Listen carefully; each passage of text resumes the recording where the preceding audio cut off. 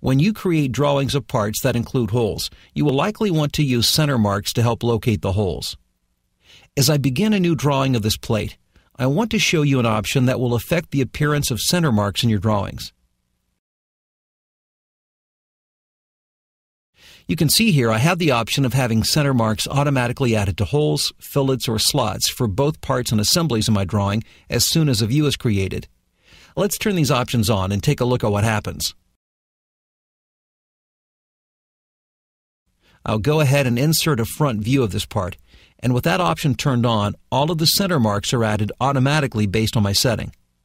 Let me delete this view and turn off the center mark options.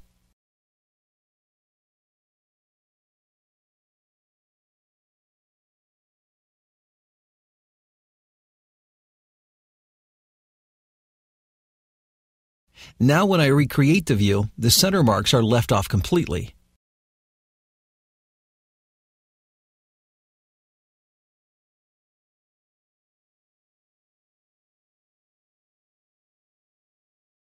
To manually add the center marks I want, I'll simply click on the center mark icon from the Annotations toolbar.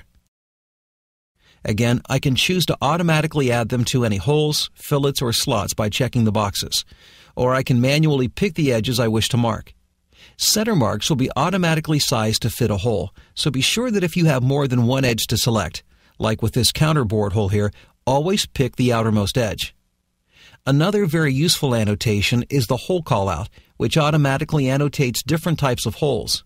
This is the hole callout icon. Once it is activated, you simply click the edge of a hole. Click again to locate the callout, and it's done. You can repeat the process for each hole.